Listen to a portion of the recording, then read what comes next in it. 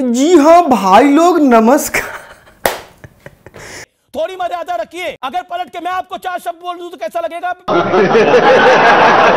खैर क्या ही गधों को कॉपी करना। छोड़िए अपने स्टाइल में बात करते हैं। नमस्कार मेरा नाम राजन सिंह मुकुट है।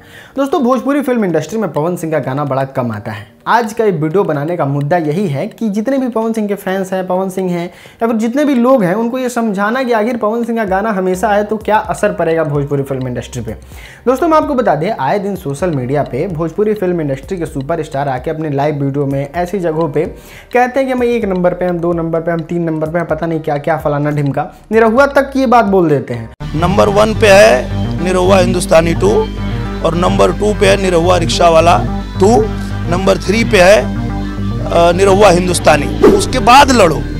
एक, दो, तीन तो सीट खाली ही नहीं है। चरम करो, भगवान से डरो भोस लेकिन खैर, इन सब बातों को छोड़ते हैं, जो असल मुद्दा है, वो हम आपको बताते हैं। दोस्तों खेसारी लाल यादव का जो ये एक नंबर पे, एक नंबर पे सुन रहे थे, ये नो डाउट खेसारी लाल यादव के अपने मेहनत के बदौलत एक नंबर पे तो थे, लेकिन हम आपको बता दें, ये काम पवन सिंह ने पहले ही कर दिया है, और वो कहते हैं ना, लकीर वकीर का बात, वही कुछ यहाँ भी मामला है।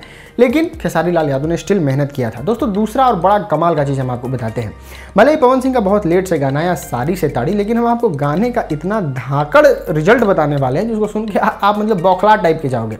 क्या हुआ, हम आपको बताते हैं। खेसारी लाल यादव का गाना एक नथुनिया है, जो कि म्यूज़िक सेक्शन में एक नंबर पर ट्रेंडिंग में था। लेकिन क्या आप जानते हैं उस गाने का क्या हुआ? जैसे ही पवन सिंह का गाना है और एक दिन फैंस के बीच में सर्कुलेट हुआ, यानी कि घूमा, खेसारी लाल यादव का गाना नीचे आ गया और पवन सिंह का मात्र तीन मिलियन पे एक नंबर ट्रेंडिंग पे चला गया।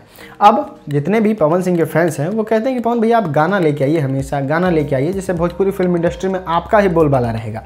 बात भी सही है कि अगर पवन सिंह एक महीने में चार गाना अगर मात्र लेके आते हैं, जो कि कोई भी एक आराम से नॉर्मल सिंगर जो एकदम भूखिया ना हो पैसा का, या फिर एकदम भूखा ना हो कि हमको काम काम ही काम ही करना है तो वो बड़ा आसानी से एक महीने में चार गाना ला सकता है। अगर चार गाना पवन सिंह लेके आ जाते हैं तो वो वाकई बहुत कमाल की चीज़ होगी।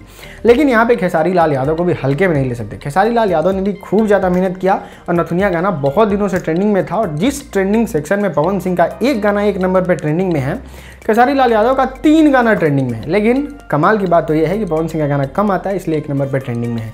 तो ये था आज का पूरा अपडेट आज का पूरा मामला। हमें उम्मीद है कि वीडियो आपको पसंद आया होगा। दबा के इस वीडियो को शेयर कीजिए। आपका बहुत बहुत धन्यवाद इस वीडियो को देखने के लिए